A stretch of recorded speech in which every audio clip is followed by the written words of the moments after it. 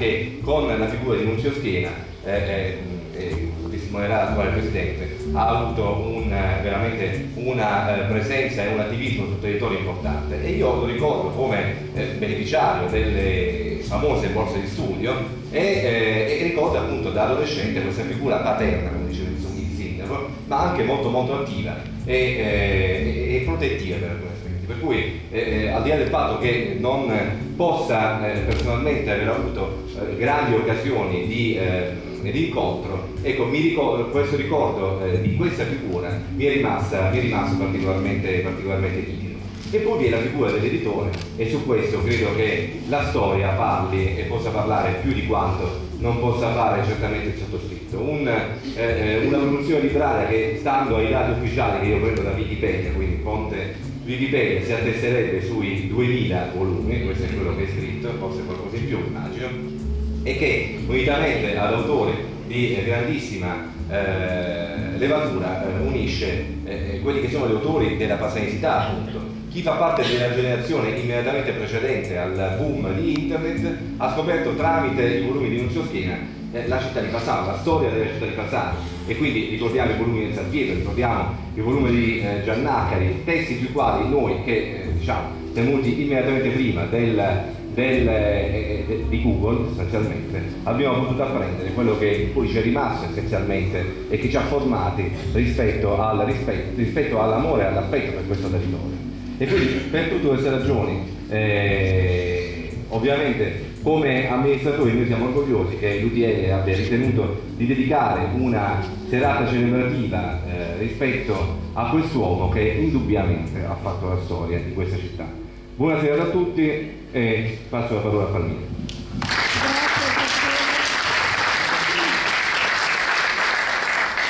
Io prima eh, di declinarvi brevi note proprio biografiche eh, per passare poi la parola al relatore, voglio mh, mm, proporvi una poesia di Giorgio Saponaro che è nel libro Non c'è schiena la parola degli altri.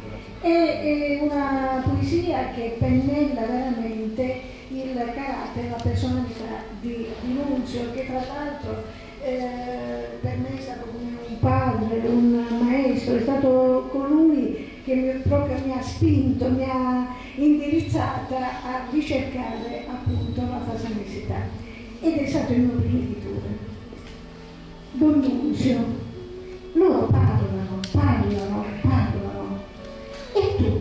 ascolti fumando. Non puoi non fumare se loro continuano a parlare. Sono tutti geni letterari e venderanno tanto sotto l'ala protettiva della tua sigla editoriale. Per anni, mesi, per giorni cruciali, quanti ne hai ascoltati con la santa pazienza di chi ha altro da fare. Intanto sotto lo stabilimento nel deposito immenso i loro libri si ammonticchiano per anni. Un tempo sei stato un tipografo sovrano, quando a mano facevi i titoli e alla sera, quando rientravi stremato, Maria ti aspettava amorosa. La tua compagna ti ha sempre aiutato e ti ha fatto con molto amore ben cinque figli. Ora la tua scrivania è vuota, ma la tua presenza è viva.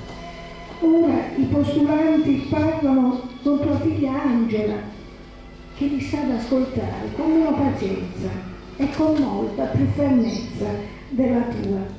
Il caffè di Mina le sigarette, la tua voce maschia, suadente, che chiamava accanto a sé Cosimo ad ogni piè sospinto. Hai stampato alla grande quasi duemila libri, in molte collane a te care e molti scrittori sono a te devoti, per il fatto certo che li hai resi noti. Molte volte non riuscivi a dir di no, per loro, noi, Proprio per questo ti siamo grati. Intanto non avevi dubbi, i tuoi figli ti faranno per il tempo futuro molto, molto onore. Quando eri stufo proprio di ascoltare il telefono trillare, ti rifugiavi prontamente nel tuo arancetto ben cintato e riflettevi continuando a fumare. Non avevi dubbi sul tuo lavoro e con l'aiuto dei santi in paradiso continuavi. Io credo bene che tu ora sia sempre per sempre in ottima compagnia. Per fortuna, almeno i santi non hanno bisogno di ritorni. Ma noi...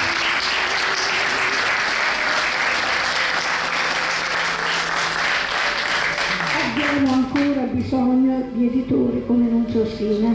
E ora eh, mi piace proprio brevemente per rinfrescarvi un po' la memoria, chi lo conosceva già, chi invece per eh, farlo conoscere a chi non lo ha conosciuto, declinare alcune note biografiche e riportate dal mensile osservatorio nel gennaio del 2004 dopo la dipartita di Nunzio che avvenne il 31 dicembre 2003, un anno veramente che si concluse male per Fasano perché molti di noi versarono delle lacrime sincere sul feretro di, di Nunzio Schina. Allora, Nunzio Schina nasce a Fasano il 31 maggio del 1925, è orfano di padre in tenera età ed allievo, come ha detto il Presidente Carbonara, di Don Sante e dei servi della carità di Don Guanella. Giovane intraprendente, in bicicletta si reca a Putignano per apprendere l'arte grafica che eh, segnerà la sua vita e lo renderà famoso. Nel 1947 inizia a Fasano l'attività nei locali di via Ignazia sì. e così prende forma la, l'azienda Arti Grafiche Nunzio Schina che poi eh, diventerà Grafic Schina. Nel 1950, come l'assessore sa, Nunzio Schina è presente alla prima mostra dell'artigianato fasanese che si tenne nell'attuale edificio Collodi delle scuole elementari eh, Collodi, un giovanissimo, infatti c'è una foto bellissima, un giovanissimo Nunzio Schina. Alla fine degli anni 50 la eh, produzione editoriale naturalmente diviene maggiore. Agli inizi degli anni 70 l'edizione dei libri si fa continua e anche più organizzata e i contenuti spaziano dalla fasanesità alla pugliesità. Nel 72 poi c'è il trasferimento da via eh, Ignazia nell'attuale eh, viale Nunzio Schina che è l'ex viale della stazione. Nel mille, eh, contestualmente nasce il marchio Schena Editore che è sinonimo di qualità perché non dimentichiamo i libri di Nunzio Schino, oltre per il contenuto, sono belli da vedere anche graficamente, sono di veri gioielli. Si moltiplicano gli scambi con le università pugliesi, nazionali, con quella di Pavia, di Bergamo, la Sapienza di Roma, con le università anche ehm, in quelle europee tra cui la, quella, la Sorbonne di Parigi. Nascono la collana di carattere scientifico, letteraria, riviste specializzate, tra le quali ricordiamo Puglia e Migrazione, perché ho voluto ricordare tra tutte le altre questa, perché è una, una rivista ufficiale dei pugliesi nel mondo che è diretta proprio dal nostro illustre relatore, il dottor Angelo di, di Somma. Nel 1983 l'Università di Pavia conferisce a Nunzio la laurea in lettere honoris causa. Grazie alla collana Biblioteca della Ricerca fondata e diretta dal professor Giovanni Dotoli, i volumi Schiena vengono pubblicati anche in coedizione con altre case editrici francesi. Le altre tappe della vita di Nunzio ora eh, le percorreremo non attraverso, attraverso anche le immagini, non attraverso le parole, ma attraverso le immagini che saranno commentate dal nipote omonimo Nunzio Schiena, che io prego di venire qui e vedremo le immagini a cominciare da una foto presso l'Istituto Sacro Cuore di Fasano. Allora Nunzio a te.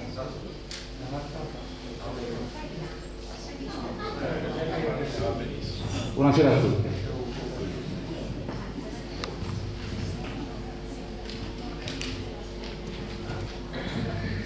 Sì, questa è la prima nel 1935 all'Istituto Sacro Cuore.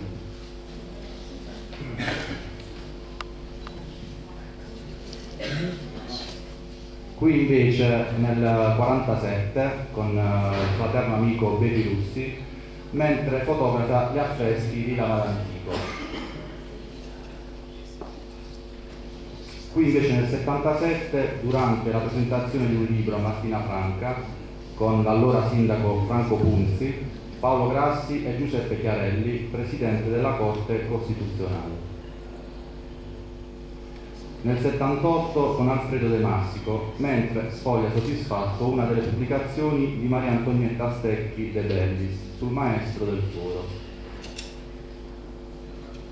Qui nell'82 illustra il calendario artistico stampato in occasione del centenario della morte di Garibaldi. Nell'82 con Giovanni Dotoli durante la presentazione di un suo libro.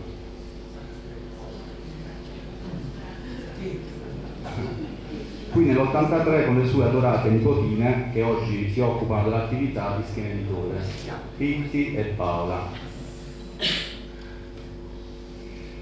Questo è un ritratto dell'84 di Pina Mosca. Qui nell'87 il premio della cultura ricevuto dal Presidente del Consiglio dei Ministri Giovanni Goria. Con Vittorio Sgarbi nell'88 ad una mostra del Tempietto dell'Arte a Laurito. Qui invece nel 90, mentre riceve la sciarpa della pace dal Dalai Lama in occasione della presentazione del libro Tibet in fiamme. In Vaticano nel 90, al cospetto di Papa Giovanni Paolo II, dopo la pubblicazione del libro Una vela di speranza, sulla vista del Papa a Taranto. L'incontro con Giovanni Spadolini nel 91 presso lo, lo stabilimento con le autorità, le maestranze e gli autori. Qui sempre con Spadolini nel 91 eh, che sfoglia il catalogo Schiena Editore. Nel 93 la presentazione del libro di Antonietta Latorre sulla confraternita del Purgatorio con Monsignor eh, Fonseca, Mimma Pasculli e l'allora assessore alla cultura Gaetano Di Gennaro. 1994, Parigi, all'Istituto Italiano di Cultura per la presentazione della collana Biblioteca della Ricerca, con l'ambasciatore italiano e il professor Giovanni Totoli. Nel 98 il premio Attis d'Oro alla cultura, assegnatogli dalla città di Fasano. Eh, questo è bello. Nel 2003 serata conviviale con, con eh, i suoi amati dipendenti e i familiari.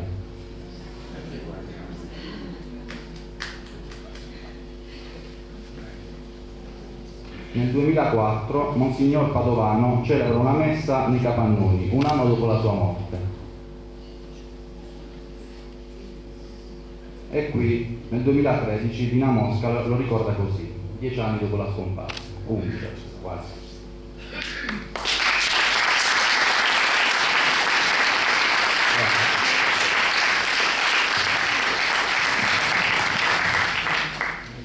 Grazie Nunzio Junior. Eh, io voglio a questo momento, prima di passare la parola al relatore, eh, dirvi eh, il fatto che è stato presidente della società operaia, l'ha già detto l'assessore, quindi non mi ripeto. E vigili che Rosa eh, mi hanno portato questo, eh, lo scudo e un mensile di Ostuni e l'editore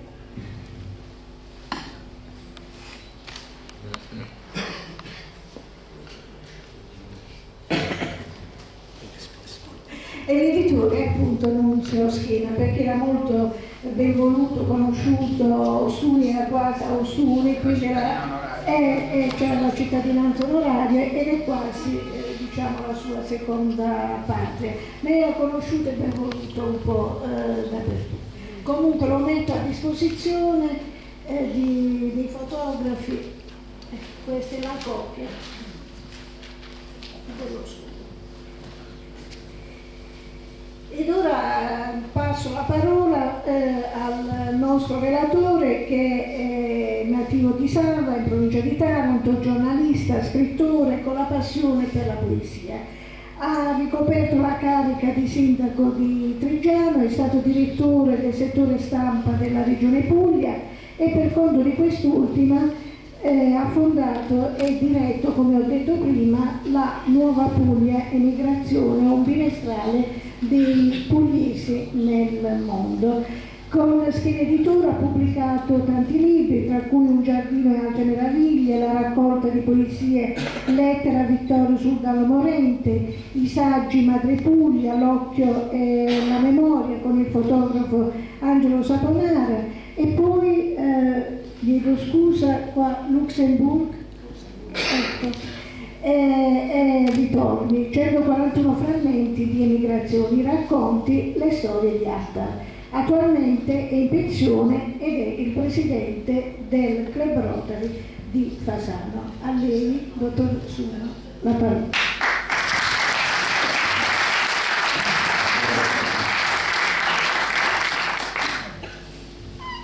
Buonasera a tutti. Sì. E vi chiedo innanzitutto preliminarmente scusa se dirò un testo scritto. Di solito non, uso farlo, ma ci sono situazioni in cui mi sento fragile rispetto a montare delle emozioni e quindi ho preferito. Il 31 dicembre del 2003 si spegneva passando Nunzio Schiena, stampatore editore, o meglio, stampatore editore, come certo si è sempre voluto considerare, e a mio avviso non senza ragione, ma su questo bisogna rivolgere. Io adesso aggiungerei stampatore editore di Fasano, e anche questo non è senza ragione. Prima però vorrei partire dalla premessa e da una confessione. Parlare di Nunzio qui stasera è per me certamente un onore, un privilegio, ma la cosa sinceramente mi crea qualche difficoltà, un po' mi imbarazza, perché mi coinvolge sul piano di un'esperienza di amicizia. Forse proprio a questo si riferiva la cara Angela che nel propormi questa chiacchierata di fronte a una mia titubanza mi ha detto parla col cuore. Sì, ma proprio questo è il problema ci sono cose del cuore che il pudore vorrebbe tenere per sé per sempre. E così farò, evitando per quanto potrò altri nomi che non siano il suo. E poi mi chiedo perché proprio io? L'amicizia, dicevamo. Ma se c'era una persona che non lesinava l'amicizia, questa era proprio Luzio. Gli amici di Nunzio sono stati e sono tanti, tantissimi, e non certo per merito nostro, ci metto pure io, ma perché Nunzio Schena non concepiva relazioni umane e finanche professionali, direi, che non confluissero prima o poi in una sfera di amicizia. Parliamo di un'amicizia alta, mai sbagliata, forse addirittura severa, è piena di pudore, fatta in confidenze rarissime, ma sempre di ricerca di sintonie profonde, di messa a nudo di pensieri e di prospettive. Il pudore, ho usato già più di una volta questo termine, e torno ad usarlo. Il pudore rappresenta una forma nobile dei meridionali migliori, nobile ancorché talora poco utile, e soprattutto poco redditizia.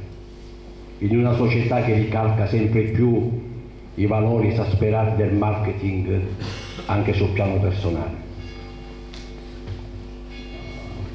Nunzio era pieno di pudore, forse troppo. Dipende da che tipo di società vogliamo prendere come riferimento finale. Io sono con lui, forse perché anch'io sono figlio di una terra fatta di sasso e di orgoglio contadino, una terra che ancora vive nel respiro antico de- della filosofia greca, dallo scetticismo, dello stoicismo, e dove la ricerca di sé e dell'altro è arte rimaieutica e non esibizionismo. Certo, oggi a essere fatti così si paga pegno. Purtroppo anche Nunzio l'ha pagato. Non a caso Raffaele Nigro parlava di Nunzio come uomo antico, ma per me, e credo anche per lui, si tratta di un complimento. Essere uomo antico non significa però essere chiusi alla modernità. Nunzio non lo era. Il suo stabilimento tipografico non ha mai perso un passo del progresso tecnologico, sempre voluto e ricercato, per non perdere mai un primato di avanguardia. Essere uomo antico era essere ancorati con la profondità dell'anima a valori ritenuti fondamentali e non barattabili, ai ideali di perfezione e di bellezza, ma anche di solidarietà. Essere uomo antico significava ad esempio introdurre le moderne tecnologie di stampa, prima l'offset, poi digitale, e continuare a mantenere in funzione le vecchie rinotaie. La rinotaio, diceva, incide il carattere sulla carta in maniera più profonda e rende il libro più bello, diceva. Ma nessuno mi toglierà dalla mente che egli non sopportasse l'idea, in onore dei nuovi sistemi di stampa, di dover licenziare e mettere così sul lastrico i vecchi rinotipisti, a cui ha legato da anni di condivisione di fatica e di creazione. Si Nunzia è un uomo antico, per questo lo piangiamo. Ma ora fatemi fare un passo indietro e torniamo a parlare di amicizia. In queste sere, in vista di questo nostro appuntamento, ho ripreso in mano un bel volume, Nunzio Schena, le parole degli altri, che la famiglia vuole editare dopo la sua scomparsa. Lì sono contenuti gli articoli di giornale le testimonianze di tanti che hanno parlato di lui all'indomani del triste evento. Bene, a rileggere quei testi, balza agli occhi un dato, l'assenza di ipocrisia. Non ci sono frasi cosiddette di circostanza, come quasi sempre capita di leggere in casi del genere nei classici coccodrilli sulla stampa. I testi pubblicati, tutti intensamente avvertiti e sinceramente commossi, esprimono il senso dell'amicizia dei loro autori, confermando quanto prima dicevo sul dono ordinario che Nunzio faceva di sé come amico a chiunque lo avvicinasse. Chi dei presenti che lo abbia conosciuto può sfuggire da definirsi suo amico? Non vorrei essere equivocato, non è che l'amicizia per Nunzio fosse un prodotto da svendere o inflazionare sul mercato delle relazioni umane. No, l'amicizia per lui era pur sempre un privilegio, perché impegnativa e vera. Se però tutti finivano per diventare amici, era perché lui era generoso. Sì, Nunzio Schena era generoso, aperto come non mai all'umanità, sempre disposto a guardarsi attorno, a vedere negli altri delle persone, non facce, non numeri, non ruoli sociali, non cariche, ma volti che a loro volta rimandavano storie. E quelle storie lo esercitavano nell'ascolto e quando possibile nel soccorso. Il suo impegno mai venuto meno nella società operaia era lo stesso verso chiunque si sedesse alla sua mitica scrivania. Era lo stesso che lo spingeva ad offrirti un caffè al bar della stazione o ad accompagnarti alla lama tamburrone acquistata con orgoglio e appartenenza di figlio, dove mostrarti la complicità di un grande segreto, l'insediamento rupestre e i suoi affreschi. Vuoi chiederti di accompagnare alla Gravinella, lì dove Ignazio allevava il suo cavallo, per parlarti a lungo di una siepe di Mortella. Allora capivi che queste non erano occasioni per passare un po' di tempo. Per lui certamente troppo prezioso per poter essere sprecato, ma tappe ineludibili e necessarie per un cammino di iniziazione all'amicizia. Nunzio anche in queste cose era diretto e antiretorico. L'amicizia era fatta anche, forse soprattutto, di antiretorica, nel darsi appunto senza alcuna forma di doppia verità, senza frontoli, con verità, con autenticità, con schiettezza, finanche con dolcezza. Chi possiede la dolcezza vuol dire che è persona cara a Dio, così scriveva in memoriam l'artista Michele Damiani, che continuava, questa dolcezza Nunzio Schena la custodiva negli occhi miti e nelle mani sempre aperte, come una porta che chiunque poteva varcare senza impedimento.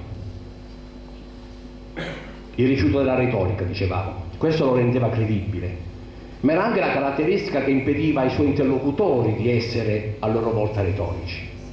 Lui non l'avrebbe consentito né perdonato, così quando nel 97 nel chiostro di San Domenico a Martina Franca fu celebrato alla sua presenza il cinquantesimo anniversario della sua attività di editore, dopo tanti discorsi di elogio svolti con i tempi tutti al passato, fu inevitabile per lui prendere la parola per ricordare di essere ancora vivo. Ora, oggi non può dircelo, ma per lui dobbiamo evitare di dare a questo nostro incontro il senso della retorica. Perché come scriveva nel 2004 Piero Pellegrini su Vita Attiva, il periodico di questa benedetta università, benemerita Università del Tempo Libero che ci ospita, sarebbe come considerare Nunzio davvero morto, cosa che non è, perché, scriveva Pellegrini, egli sarà sempre presente e vivrà nella storia di Fasano e della regione. Nell'essere profondamente antiretorico, ha forse avuto un grande ruolo il suo sentirsi sempre un artiere, come ha scritto Gianni Custodero, un operaio, l'ultima espressione della concezione classica dell'arte, inscindibile dalla manualità, dalla dimensione materica e archetica della creazione, stampatore editore, dicevo prima. Era l'artiere che pretendeva di visionare personalmente le bozze, controllando i particolari, era l'editore che valutava personalmente i manoscritti, leggendoli tutta, tutti prima dell'atteso si stampi. Lo stesso impegno, la stessa passione, la stessa professionalità, lo stesso mettersi in gioco completamente senza riserve, rimasto immutato dai tempi lontani in cui inforcava la bicicletta per andare a Putignano a rubare i segreti del mestiere di Robertis. Perché il successo non lo ha mai cambiato nemmeno per un attimo. Certo, non gli mancava l'orgoglio delle cose fatte bene, ma mai ha spostato gli apprezzamenti e i riconoscimenti ricevuti sul piano della gratificazione personale esaltandosene. Erano sempre e comunque gli apprezzamenti e i riconoscimenti per il lavoro svolto, per il suo di lavoro e per quello di tutti i suoi collaboratori, a partire dal fidato e discreto Cosimo, dei figli e così via fino all'ultimo assunto. Per Nunzio era immenso il senso del lavoro. Di lui Paolo Guarini ha scritto lavorare per dare il senso alla vita era la sua filosofia.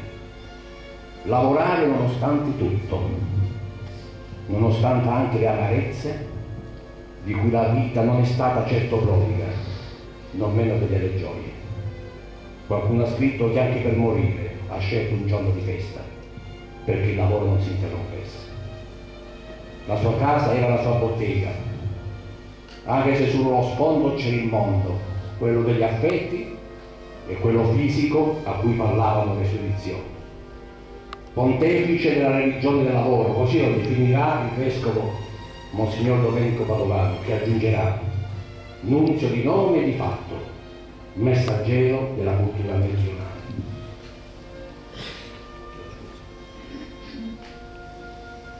Forse non sto dicendo che Nunzio era anche un grande.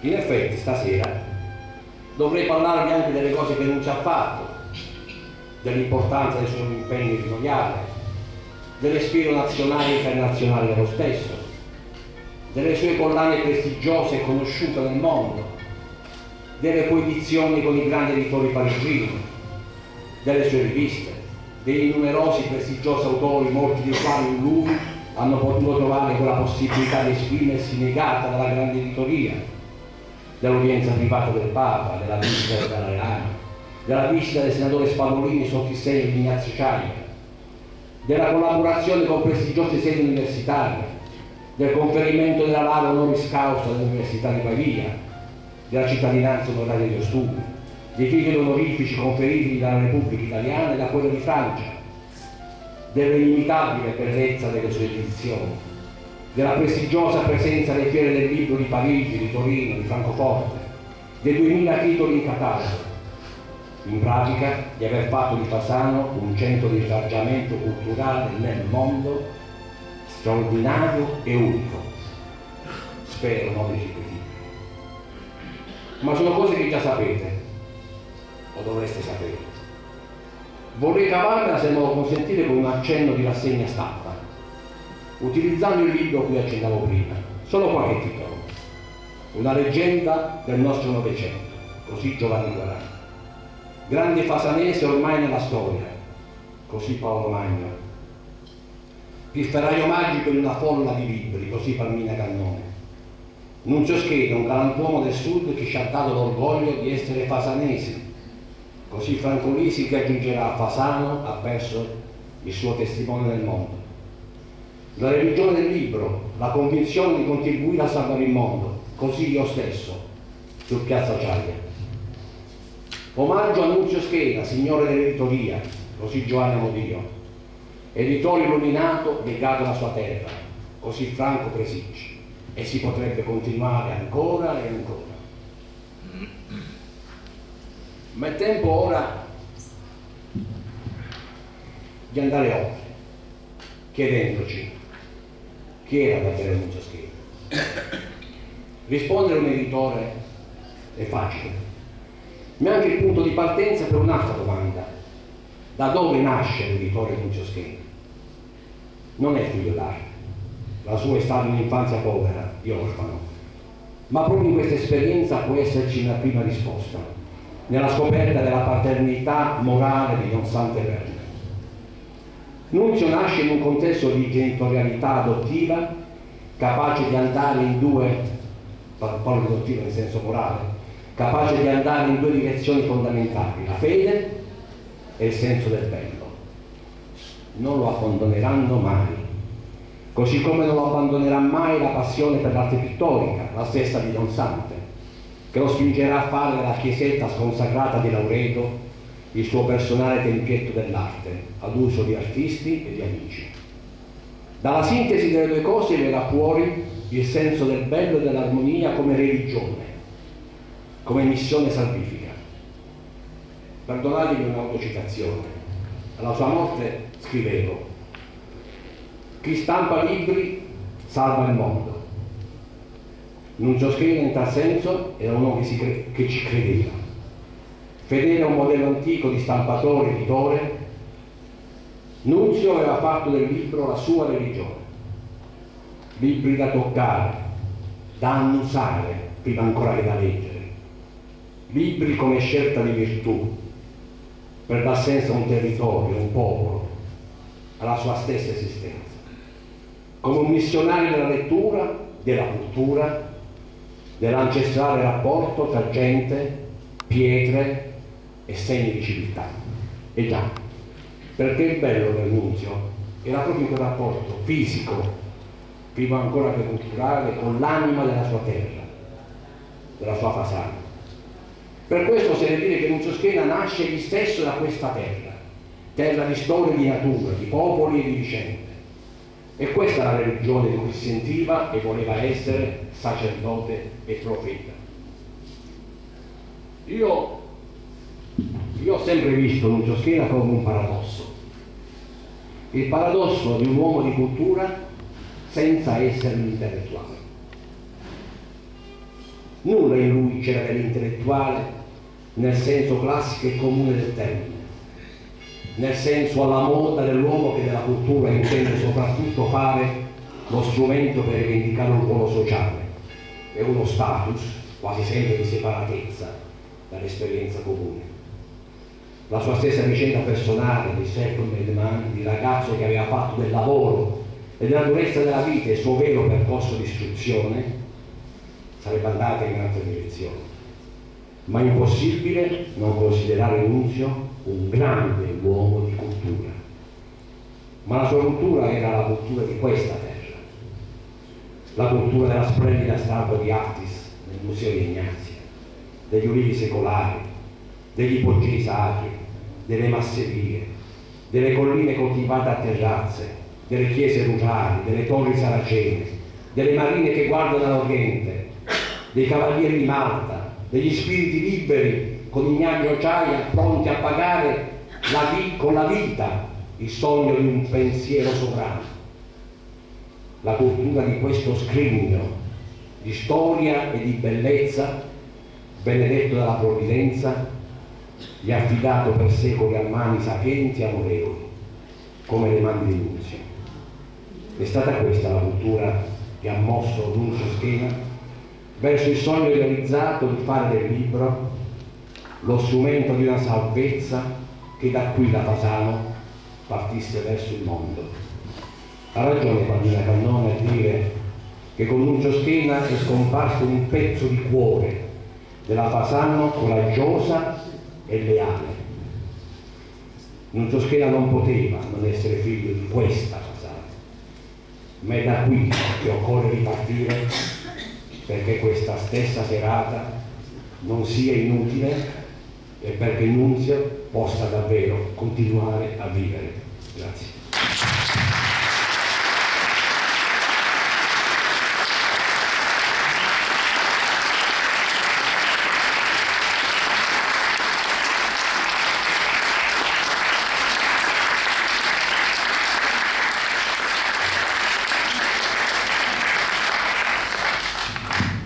Ringrazio il dottor Angelo Di Summa perché veramente ha parlato col cuore ed è riuscito a emozionarci. Abbiamo rivisto Nunzio Schina, lo abbiamo sentito e, e personalmente veramente eh, non riesco neanche a parlare. E quando lei ha citato, la ringrazio anche delle citazioni, il pifferaio, perché io l'ho definito il pifferaio magico? Perché essendo stata una docente ed essendo stata un'amica, eh, una, diciamo anche allieva, di Nunzio, di Nunzio Schina, lo chiamavo spesso, perché lei sa, i ragazzi non leggono volentieri e devo dire eh, che ci sono state tante iniziative e lui abbiamo fatto a scuola la città del libro, la settimana dedicata al libro e lui veniva, è vero Angela ti ricordi quando veniva ed era felicissimo, anzi a scuola eh, durante un'altra manifestazione dedicata proprio alla lettura avevamo creato una mostra di, di libri eh, contando il via per esempio del giallo, dei libri gialli, eh, libri via dei libri fasanisi e facendo in questo modo proprio avevamo creato una toponomasia proprio all'interno dell'istituto e lui quando venne fu felicissimo e veramente si emozionava sempre, anche quando presentò il mio primo libro raccontando Fasano sugli artigiani e lo presentammo proprio, lui volle che fosse presentato nella società operaia, ricordo quella sera lui era commosso, proprio aveva le lacrime agli occhi perché Nunzio era anche questo. Io sul libro eh, citato sempre Nunzio Schina, Le parole degli altri, l'ho ricordato anche in un altro modo cioè, scrivo, rammento le lunghe chiacchierate in tipografia o quanto lo incontravo per la via, soprattutto in corso eh, Vittorio Emanuele, e lui mi parlava della sua passione per la campagna e per la caccia perché la terra umida diceva che resisteva sotto i piedi l'aria tersa, gli odori del bosco in autunno, le iridescenze della, della rugiada, gli umori proprio della natura lo rinvigorivano. E lui che come ho detto prima fumava, fumava spesso, aveva bisogno di respirare proprio perché la, la, natura, la campagna era una boccata di, eh, di ossigeno. E io rivedevo mm, in Nunzio proprio l'ebbrezza di un bambino, di un bambino eh, cresciuto troppo in fretta, perché in fondo Nunzio aveva anche l'animo del, del, fanciullo, era anche un, uh, un poeta um, a, suo, a, suo, modo e diceva che la sua ricchezza uh, dopo la famiglia erano naturalmente i, i libri. E come ho detto prima, quando lo incontravo a questi incontri con gli alunni, lui si intratteneva con questi ragazzi, parlava dei suoi libri, parlava di, di come si stampasse un, un, libro. E abbiamo ricordato stasera la, l'amicizia eh, che lo legava a Don Sant'Eterna. Io voglio ricordare, eh, prima di concludere, che Lucio Schina aveva anche un'altra amicizia con un altro prete straordinario di, di Fasano, Don Vito Sibilio. Erano due personalità mh, diverse, però erano accomunate da una grande amicizia ed anche da una concezione antica della, dell'etica, della, della morale e di concepire l'amicizia così come ha parlato, ha detto poc'anzi egregiamente il eh, relatore. E io voglio salutare Nunzio Schina, dopo aver ringraziato tutti, aver ringraziato la, anche la famiglia, tutta la stampa e tutti i presenti a nome eh, dell'università, che tra l'altro l'università è stato socio onorario della, della nostra università del tempo libero e voglio salutare Nunzio con i versi della, mm, di Garcia Lorca Congedo. Quando morirò lasciate il mio balcone aperto, il bambino mangia arance, dal mio balcone lo vedo. Il mietitore taglia il grano, dal mio balcone lo sento. Quando morirò lasciate il mio balcone aperto e noi lo abbiamo lasciato veramente, Fasano l'ha lasciato veramente questo balcone aperto e anche stasera sono sicura che Nunzio è qui con noi. Grazie e, vi do appuntamento alle 13.